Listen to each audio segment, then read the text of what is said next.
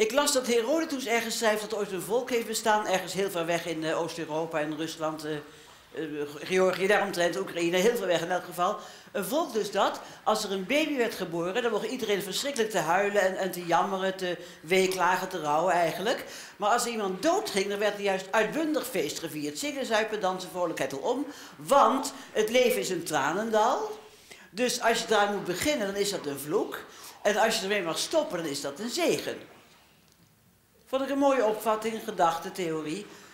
Maar later dacht ik, als die mensen, als dat volk dat werkelijk dacht, dat werkelijk vond, waarom neukten ze dan nog? Jou heb ik nooit verstaan. Hoe onstuit waar je ook tegen me aanratelde, ik hoorde je niet.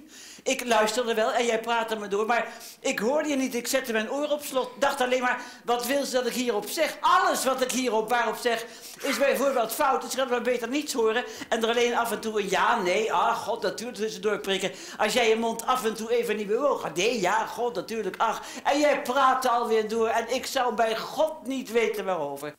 Hij had gelijk, maar ja, helaas, ik ben geen wijs mens, geef het toe. Heb alleen maar domme dingen gedaan. Ik was een monster, tuurlijk. Ik was een diva, natuurlijk. Of ook helemaal niet. Was, was dat mijn schuld? Ik heb geprobeerd jullie daartegen te beschermen. Daar zaten jullie niet op te wachten. Of zaten jullie er wel op te wachten? En waarop?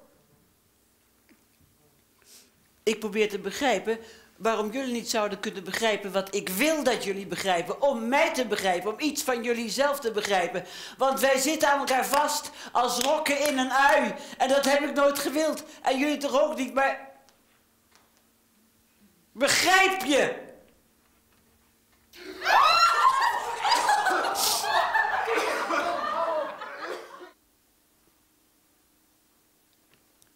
De argeloze vis die recht op de waterval afzwemt bereikt een punt ergens voor die waterval waar de stroom hem meesleept. Vanaf dat punt kan de vis het licht onmogelijk nog tegen de stroom opzwemmen en verdwijnt hij onherroepelijk in de waterval. Het zwarte gat